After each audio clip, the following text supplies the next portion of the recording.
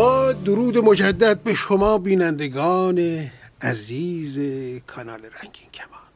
برنامه رنگین کمان. بخش سوم و بخش پایانی برنامه. در دو بخش ما به بهانه نوروز نه اینکه نوروز برای ما بهانه باشد بلکه مهمترین فرصت برای ما برای نو اندیشی نوزیستی برخورد انتقادی و بیان آن علمان است که ما رو به شادی و سرور نزدیکتر می‌کنن.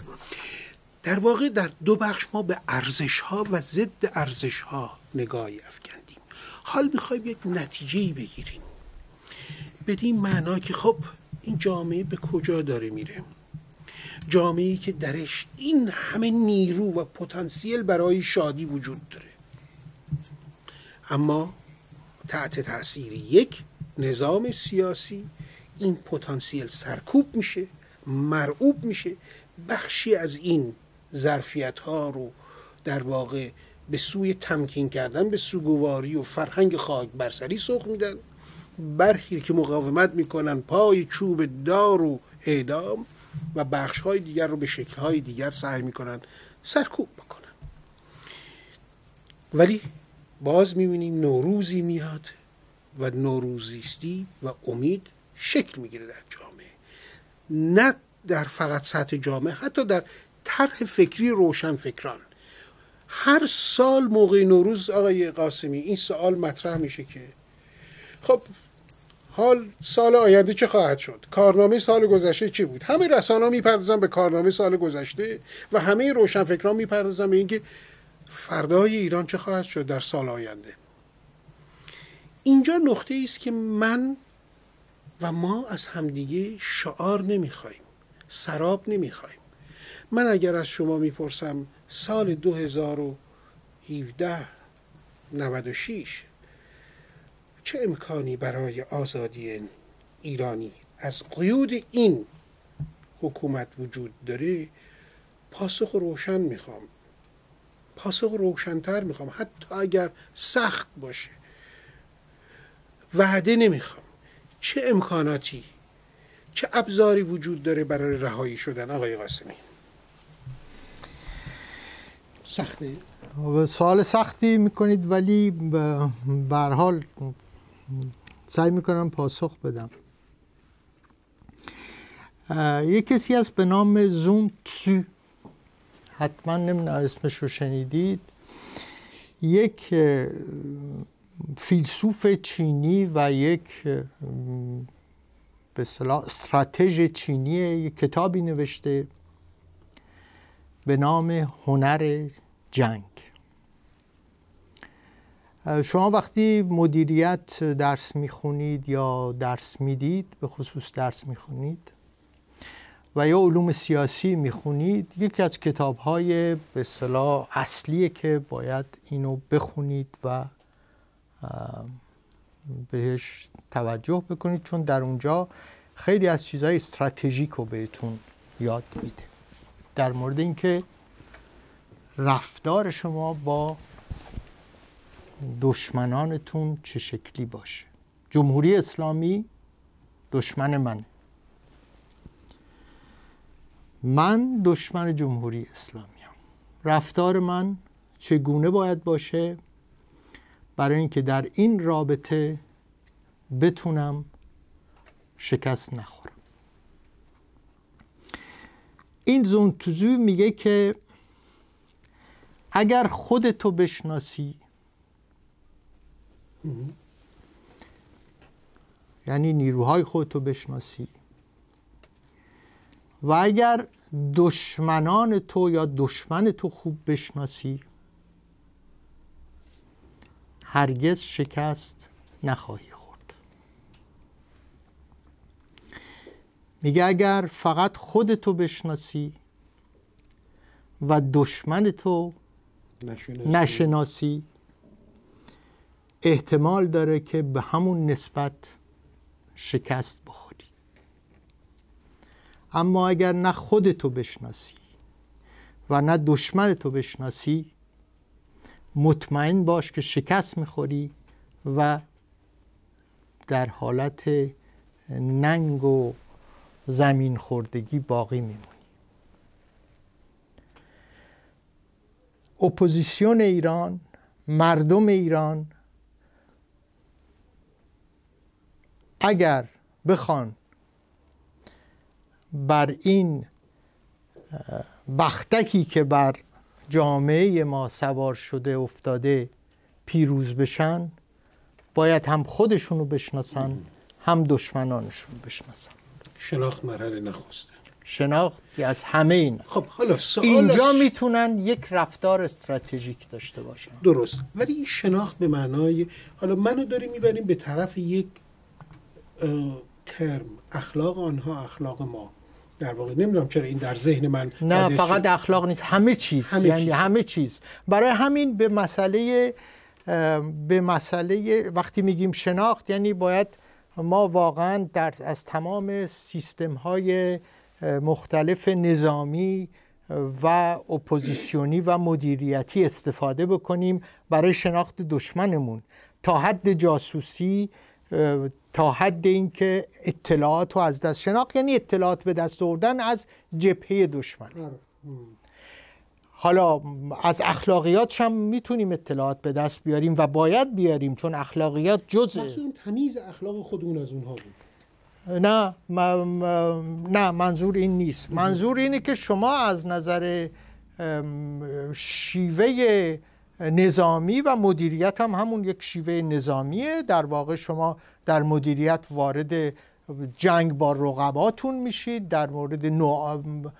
کار نوآوری می‌کنید کار تولید می‌کنید کار اداره نیروهاتون رو می‌کنید و اینجا برای اینکه بتونید نیروهاتون رو خوب آرایش بدید خوب بنشونید و خوب حرکت بکنید و مبارزه بکنید باید اینا رو بشناسید. و اونجا باید ارزش های خودتون رو بشناسید و ارزش های اونا رو بشناسید که چگونه بتونید ارزش های اونا رو بیارزش کنید. آیا این ارزش ها شما به جامعه شناس وقتی به جامعه ایران نگاه می‌کنید این روزها هم لازم نیست که آدم حتما تو خیابون را جامعه رو نگاه بکنه؟ یه سری داده ها و فاکت ها هست که میشه با ملاحظه به اونها جامعه رو تعریف کرد تحلیل کرد تفسیر کرد.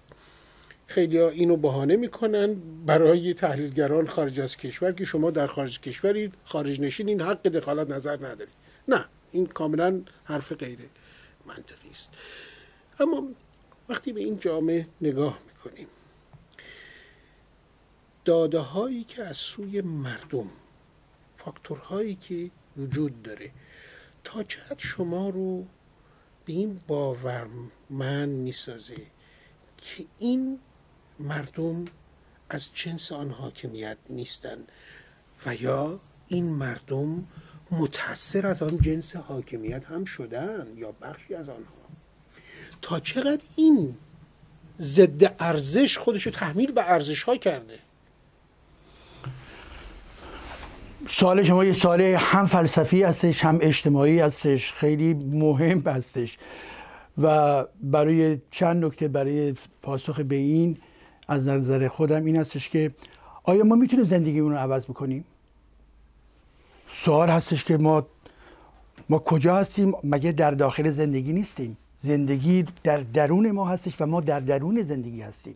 ولی آیا این سوال رو یه سری از به حال جامعه شناسان و فیلسوفان مطرح می‌کنن آیا ما می‌تونیم زندگیمون رو عوض بکنیم؟ یعنی دارای زندگی تیر دیگه ای باشیم نوع زندگی دیگه داشته باشیم.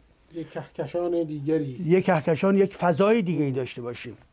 خب اگر به روندهای عمیق و بنیادی که جامعه رو می‌سازه و حرکت رو تنظیم می‌کنه تو در درون این قالب در درون این میکانیسم باقی بمونی کم و بیش ما ادامه همون زندگی همیشگی خودمون رو خواهیم داشت. ولی صحبت از ارزش ها شما کردید. یعنی مسئله این هستش که خب جامعه ایران درش ارزش هایی هستش. منتها این ارزش وقتی میگیم کلمه ارزش این ارزش چیست؟ معنایی که ارزش میطلبیم یک جنبه مثبت چه بسا باشه. رابطه با وجود داشته باشه با مسئله ترقی در جامعه با مسئله خوشبختی انسان ها در جامعه. برای به رسیدن به یک جامعه دموکراتیک در جامعه. ارزش هایی که ما مورد نظرمون هستش این گونه ارزش هست. می‌تونه در ضمن چیزهای ارزش هایی باشه که برای مخالفین ما و برای کسانی که آسیب رسان دهنده های جامعه هستن اونها هم در واقع به نوعی ارزش های خودشون تعریف می‌کنن. ولی ارزش های ما تمایل به انسانیت داره. ارزش ما تمایل به به صلاح توجه به طبیعت داره. من ارزش های خودم رو دارم این ما میگیم یعنی مردم. حالا این بخش دوم بحث شما بود که آیا جنسیت مردم و جنسیت حکومت یگانه است یا دو چیز مختلف هستش؟ و من فکر می‌کنم در جامعه ما از نظر اجتماعی و جامعه شناسی که نگاه بکنیم خیلی زمین ها هستش که جنسیتی که در جامعه وجود داره با جنسیتی که در درون حکومتگران وجود داره می‌تونه بسیار نزدیکی های عمیقی داشته باشه. یک زمینه هایی یک زمینه های مسلمه. یعنی حتی در درون سیستم حکومتی و حکومتگران هم اونها هم در خودشون اختلاف نظر وجود داره. اونها هم خودشون رو سرکوب می‌کنن. ولی اینجا در یک مناسبات به اصطلاح حاکم و محکوم هستیم. ولی بین محکومین می‌تونن اینها همون برخوردها و یا نوع رفتارهای منفی حاکمین رو داشته باشن. به عنوان نمونه. علت ماندگاری هم می‌تونه همین باشه دقیقا. یکی از پایه هایی که اجازه میده که به عنوان نمونه من امروز همه فکر می‌کنم که به این توجه داشته باشیم جامعه باید به سوی دموکراسی بره. خب ما می‌دونیم که در درون جامعه ما این یک نیاز عمیقی که در واقع جامعه داره این بیرون آمدن از استبداد دینی و رفتن به دموکراسی هستش. ولی بلافاصله این صحبت هستش که در یک جامعه مانند جامعه ایران در اشل به این جامعه و شهروندانی هستش اهمیت دادن به ارزش های دموکراتیک حقوق بشری. چه پایه‌ای داره؟ طبعا من بحثم بحث این نیست که بگم که به هیچ وجه جامعه یا بخشهایی از جامعه توجه به حقوق بشر نداره و غیر به هیچ وجه. ولی که در خیلی زمینه ها میشه این رو ازش نتیجه گرفت که جامعه که به, به نحوی منکوب شده جامعه که اون فرهنگ دینی باز غلبه داره در جامعه که جامعه مصرفی هستش چه بسا ارزش های دموکراسی خواهی بسیار ضعیف باشه. و زمانی که در این جامعه ارزش های دموکراسی خواهی ضعیف باشه نزدیکی پیدا میشه با نوع به اصطلاح روندهایی که به حکومت اجازه میده که حرکت خودشو بکنه. بنابراین ما شفاف سازی بسیار گسترده‌ای رو باید بکنیم. ارزش ها من میگم ارزش ها یک مسئله توجه به, به مسئله به فرض محیط زیست سیستم حکومتی این امر رو درش نمی‌تونم من ببینم. یعنی توجهی به مسئله محیط زیست. ولی این عدم توجه به مسئله محیط زیست در بخشی از جامعه هم وجود داره که در رأس قدرت نیست. در بخشی از اپوزیسیون ایران وجود داره. اینها زمینه های نزدیکی این بخش های گوناگون این جامعه هستش. در زمین دموکراسی خواهی دموکراسی خواهی در دستور نظام نیست. در منطق حکومتگران نیست. در منطق دین و سیاست دینی نیستش. هرگز. ولی در این حال این صحبت میشه کرد که دموکراسی خواهی به معنای آزادی اندیشه به معنای رفتار عمیق شهروندانه آیا کاملا با یک عمق در تمام جامعه در واقع پخش هستش و انسان ها از این در واقع دارن نیروی خودشونو می‌گیرن یا بخش اپوزیسیون؟ اینها جنبه هایی هستش که ما رو به فکر وامی داره که پیوندهایی که با این نظام این نظام فقط اون آخونده که در رأس هست نیست. این مجموعه دستگاه مجموعه بینش مجموعه نهادها مجموعه در واقع این ایدئولوژی موجود اینها چه هستند؟ و در بدنه اجتماع هم آیا این رابطه می‌تونه وجود داشته باشه یا دو تا موجود کاملا متضاد کاملا در برابر هم هستند؟ من فکر می‌کنم که در ارتباط با جنسیتی که شما مطرح می‌کنی زمینه های پیوند وجود داره. در عین حالی که این زمینه های پیوند در ضمن نافی وجود تمایلاتی برای در درون جامعه مثلا رفتن به سوی یک جامعه شاد یک جامعه باز یک جامعه دموکراتیک این پیوند در ضمن نافی این خواستها در این جامعه نمی‌تونه باشه. نشون میده که خود این مبحث نیازمند برخوردهای خیلی جدیتره توی مباحث گسترده تر و و شاید باز یک پرسشی بود که ما رو سوق بده به طرف اینکه برنامه سازی بکنیم در مورد این موضوع. و حتما من در این مورد اگه اجازه بدید یک بعد من سوال مشخص خودم با با ببینید ما الان در یک موقعیت یعنی جهان در یک وضعیت به خصوصی قرار داره. از نظر سرعت سرسام‌آور تکنولوژی از یک طرف اطلاعات از یک طرف و از نظر سرکوب انسانهایی که در شرایط مناسب اجتماعی نیستن از طرف دیگر. یک پارادوکسی رو داره جهان میگذره. که نتایجش بسیار بسیار تأسف آور و خطرناک برای آینده جهان به خصوص خاور میانه و ایران. من باز مجبور میشم اینجا توجه به گزارشی که CIA هر سال یه بار یک گزارشی رو CIA انتشار میده و پیش بینی می‌کنه وضعیت دنیا رو در 35 سال در مثلا 35 سال یا 15 سال آینده و به خصوص در 5 سال آینده. و در این گزارش در صفحات مختلفش راجع به مسئله خاورمیانه و مسئله ایران اومده. از جمله این که بیشتر مرکز در واقع توجه جهان الان به سوی خاورمیانه بله. و البته راجب تکنولوژی هست راجب محیط زیست هست راجب خیلی از مسائل راجب شکلهای به فضا به چه شکل خواهد بود. آیا انسان می‌تونه به فضا در راجع به تمام چیزهای علمی و فلان اینا یک کمیته مهمیه که میشینه این کارو می‌کنه با توجه به اینکه منافع سیایی منافع خودشو داره دلش به حال ملت مردم ها نسوخته. ولی یک چیزهایی که بر اساس یه بخششو باید با یک نگاه انتقادی و یک نگاهی که آدم توی دام سیایی نیفته می‌تونه نگاه بکنه. از جمله در اونجا راجع به خاورمیانه چیزهایی که صحبت می‌کنه مسئله نسل آینده که در خاور میانه به وجود خواهد آمد و مشخصات این نسل چه خواهد مشخصات این نسل آوارگانی خواهند بود.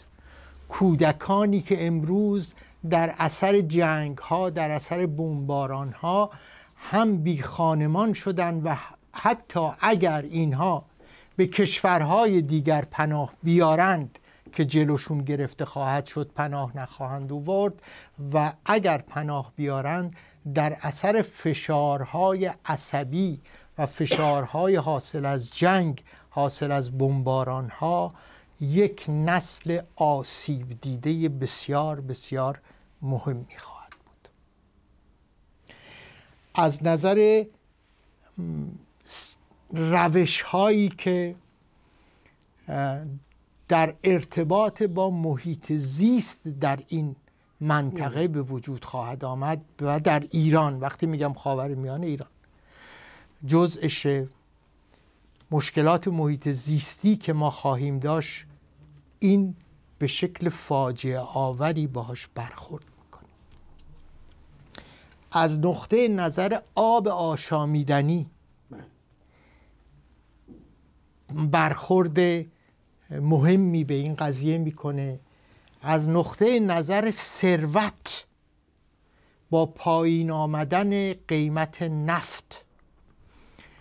یا پایین آوردنش؟ یا پایین آوردنش یا پایین آمدن به حال کمبود درآمد که این کشورها کشورهای تک درآمدی هستند یعنی فقط از طریق نفت فروش نفت که از نظر جنگ بین سنی و شیعه که یکی از مخاطرات بزرگ هست و دخالت کشورهای بزرگ مهندسی شده. از نظر دخالتی که بانکداران و صاحبان صنایع تسلیحات نظامی که اینها نمی‌تونن که کارخونه های نظامیشون رو کنار بذارن که. نمی‌تونن بمباردمان هایی رو که دارن درست می‌کنن چه فرانسه چه امریکا چه انگلیس چه همه اینها نمی‌تونن تعطیل بکنن که. اینها باید به کار بیفته. اینها باید ادامه پیدا بکنه. انبارها نه انبارها هستش و باید ساخته بشه باید باز فرستاده بشه برای اینکه این کشورها بتونن اون وضعیتی رو که دارن داشته باشن. بنابراین این جنگ مرتب ادامه خواهد داشت و منطقه در یک و منطقه از جمله ایران در یک وضعیت پر آشوبی پیش بینی میشه. الان ببینید شما در ایران 20 میلیون جوان متقاضی تحصیل کرده کار دارید. ولی کار وجود نداره کجا آره. و اینها اینها بنابراین آینده ای که برای ایران میشه پیش بینی کرد میشه دید با این حکومت جمهوری اسلامی با این که شما گفتید مدیریت من میگم سوء مدیریت نداشتن مدیریت بلکه اصلا بی اهمیت قرار دادن به مدیریت بلکه عوام فریبی از نقطه نظر مدیریت. بلکه خمینی اومد گفت اقتصاد مال خر است. یادتونه که بعد از انقلاب گفت کار خر است. خب معلوم شد حالا اقتصاد کار خر نیست. آقای روحانی و بعد از اون بارها اومدن و قبل از اون بارها اومدن گفتن که آقا وضع اقتصادی رو درست بکنید. همین دولت آقای روحانی که دولت اعتدال و فلان و بهمان و اینها هست که گفت که من در زندانی نفر نمی‌ذارم بمونه نمی‌دونم وضع اقتصادی رو خوب خواهم کرد برجام امضا شد این وضع اقتصادی خوب خواهد شد و فلان و اینها. ما می‌بینیم احتمالا در اثر برجام یک سری شرایط سرمایه گذاری برای کشورهای خارجی به وجود اومده. یک سری از کسانی که در مافیای رژیم جمهوری اسلامی هستند می‌تونن بیش از این پیش از این جدی رخ برحال شرایطی به وجود اومده. بانک ها روابطشون رو تا حدودی با اینها باز کردند و همه اینها میره به جیب اون مافیایی که خمینی سر خامنه ای سردستشونه. بله بنابراین شرایطی که ما می‌خوایم برای جامعه به اون شکلی که بشه یک فرجی باشه نیست و از این با این رژیم و از طرف دیگر حقوق بشر به شدت پایمال شده اعدام ها ما در سال من آماری دستم اومد در سال در 38 سال گذشته 61 هزار نفر اعدام شدن فقط در این. خب ما داریم به پایان برنامه می‌رسیم وقت می‌رسیم. نکات بسیار مهمی اشاره شد تو همین صحبت. یه بخشش که می‌دونم دغدغه شما سه همه این سالها مسئله محیط زیست و قرآن حتی ما تحقیقاتی داریم که صحبت از این می‌کنه. جنگ سوریه می‌تونه عامل در واقع انکشاف جنگ سوریه و این همه دهشت و کشتارش مسئله بحران آب در اون جامعه بشه کوچ مردم به نقاط دیگه تراکم جمعیت در جایی که ظرفیت نداشت و ما امروز در ایران هم شاهدش می‌تونیم باشیم. کوچ حدود ده 15 میلیون انسان از مناطقی که آب درش تقریبا به پایان رسیده. به کجا؟ ناکجا آباد. معلوم نیست به کجا می‌تونن برن. 20 میلیون متقاضی جوان و غیره غیره. جامعه به کجا میره آقای؟ ایجادی. جامعه معلوم نیست به کجا میره. فعلا ما در تباهی یا روندی از خرابکاری قرار داریم. در این حال که جامعه در ضمن پویاست یعنی اینکه افرادی هستن که خلاق هستن می‌سازن فر... کتاب منتشر می‌کنن فیلم منتشر می‌کنن در زمین های مسائل محیط زیست اقدام می‌کنن سازماندهی رو انجام میدن. همین ها رو ما باید ببینیم. به حال فقط و فقط روند یک, یک, جانبه نیست. ولی که به حال اینکه به کجا می‌رود محتاج این هستش که پروژه پروژه هایی وجود داشته باشه. این پروژه ها از نظر عملی شدنش در این نظام دینی بسیار بسیار به مشکل و چه بسا ناممکن باشه. ولی آنجایی که حداقل این به بحث قبلی شما من فقط اشاره می‌کنم شما صحبت کردید که از ارزش ها فکر می‌کنم حداقل در این دورانی که ما هستیم مجددا و بیش از گذشته و با دقت علمی روی ارزش ها ارزش هایی که ما رو به سمت اون آینده که مورد نظرمون هستش می‌خواد ببره اینا چیست؟ و اگر این ارزش ها از جمله مسئله دموکراسی هستش که پیوند می‌خوره به آینده این جامعه دموکراسی رو ما باید بفهمیم. این دموکراسی با گفتن کلمه دموکراسی ما دموکرات نیستیم. این رو با به ارزیابی و بازشناسی روندهای جلوگیرنده امر دموکراسی که در رفتارهای انسان ها وجود داره. این رو باید نگاه بکنیم. چه جوری مثلا یه پرانتز باز بکنم. چون وقتی که صحبت از این میشه که ما می‌فهمیم یا نمی‌فهمیم خب در زمینه تئوریک خب طبیعتا با خواندن میگیم خب دموکراسی این است و اما یه نکته دیگه که منتقدی مطرح می‌کنن لمس و تجربه هست. خب برای اینکه ما به اون لمس و تجربه برسیم تا بتوانیم بگیم که ما دموکراسی رو درک بکنیم حزم بکنیم چه باید بکنیم خب ببینید الان مثلا من نگاه می‌کردم یک در یه گوشه خیابونی تو ایران به صلاح یه فردی احتمال داره از به صلاح حکومتیان بود و افراد دیگه داشتن چند تا سگ و یه گوشه قرار داده بودن داشتن روشون سنگ می‌زدن و می‌زدن که بکشن. خب این فقط دار دسته حاکم بر ایران نیست. در ضمن جزو این فرهنگ آمیانه هستش که چنین رفتاری می‌کنه.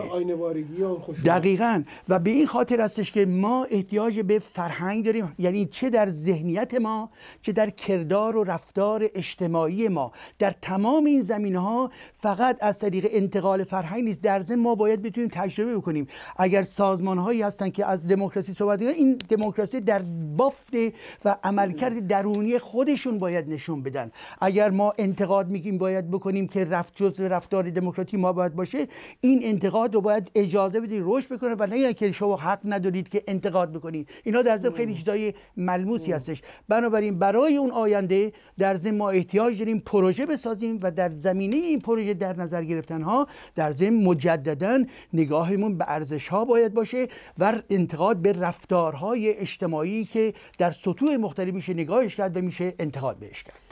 و شاید کمک به فرهنگ انتقال فرهنگ و فرهنگ درست و چون وقت اون تموم شده فقط اگر موافق باشین نفری سی چل ثانیه شاید در پایان. فقط یه نکته هم باید بگم که در این عرصه فرهنگ سازی یا انتقال فرهنگ از همین مجاری رسانه می‌تونه نقش آفرینی بکنه. شما می‌بینیم در اون رسانه یه باره یک بحث مطرح میشه که می‌شود جنایت علیه بشریت رو هم بخشید مثلا.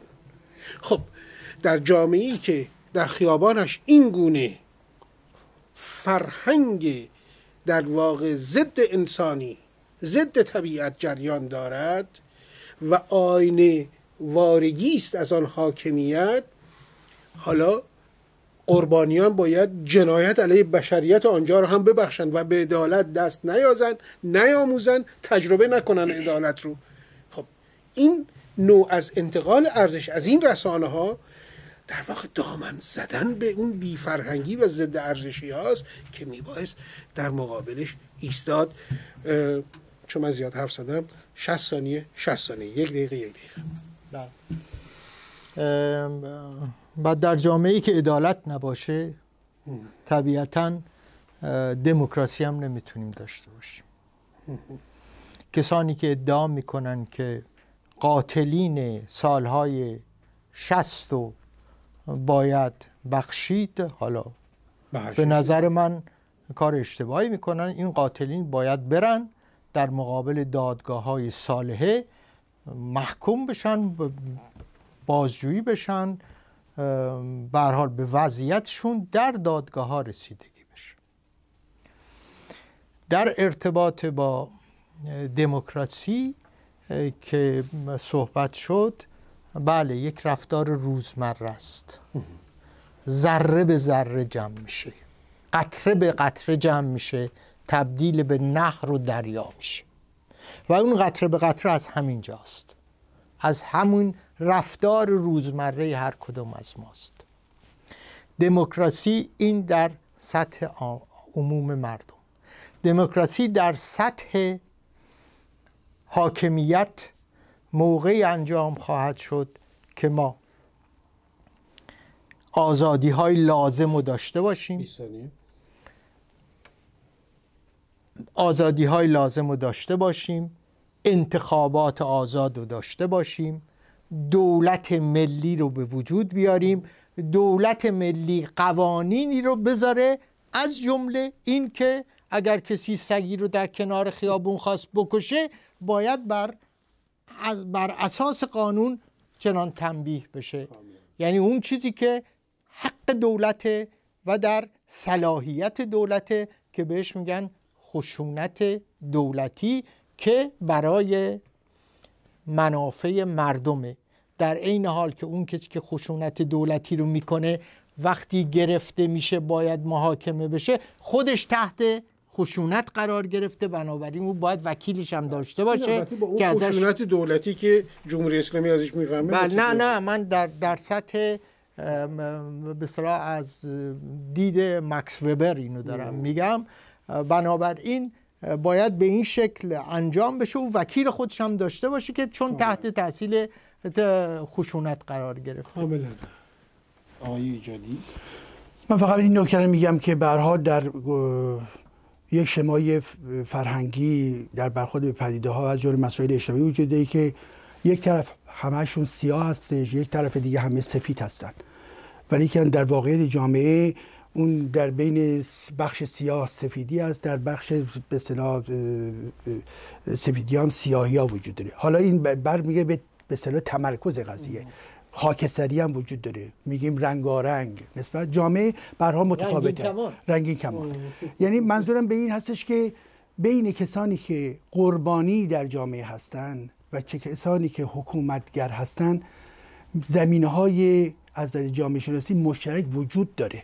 کسانی که در رأس هستند و حکومتگر هستند به لحاظ داشتن ابزارهای خشونت ابزارهای در واقع فساد ابزارهای قدرتمند حکومتداری ابعاد به آسیب هایی را که تولید می‌کنن بی نهایت و بسیار گسترده هستش. ولی یاد اون باشه که کسانی هم که در اون رأس نیستن چه بسا و حتما دارای بیماری ها دارای آسیب هایی هستن که این رو هم باید توجه بکنیم. و الا چی؟ اون آسیب هایی که در ما وجود داره و بیماری هایی که در ما و در بدنه اجتماعی وجود داره نمی‌بینیم. و پس فردا که اینها میرند و آنها به قدرت می‌رسند دوباره ماجراها تکرار خواهد اینجاست که در واقع به وظیفه و رسالت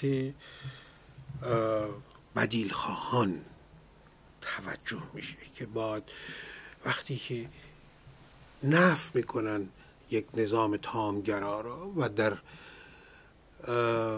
مقابلش دموکراسی خواهی لایسیته و غیره رو پیشنهاد می‌کنن. در واقع گذار از این سیاهی و تبایی و نور و روشنایی رو پیشنهاد می‌کنن. باید آن شناخت لازم رو از خود میدان زندگی و از دشمن داشته باشن. از آسیب ها و دردهایی که در این بستر بستر تاریخ خرسه تاریخ شک گرفته باید داشته باشن. راه ترمیمش را هم بیابن. گرنه تکرار همان دردها خواهد بود که بر پیکره جامعه به شکل دیگه به نام دیگه انجام خواهد شد. ما این بحث رو در زوایای دیگر با مهمانان دیگر و همچنین با خود شما ادامه خواهیم داد. به نظرم موضوع بسیار مهمی است. نوروز برای ما بهانه شد و فرصتی شد. به قول جلال ایجادی که به این مسائل مهم و ارزش ها و ضد ارزش ها بپردازیم. همراه با فرهنگ قاسمی عزیزم جلال ایجادی گرامی هم همراه با فرشاد عزیز و داوود گرامی که پشت دوربینا هستند در اتاق تدوین هستند برای شما بینندگان عزیز کانال رنگین کمان بهترین آرزو خواهد دارم. آرزوی ما برای شما نوروزی همه شماست. نوروزی به سوی یک زندگی به سوی زیبایی به سوی سلامت زندگی آفرینش هستی زندگی. شاد و پیروز باشید. نوروزتان خوش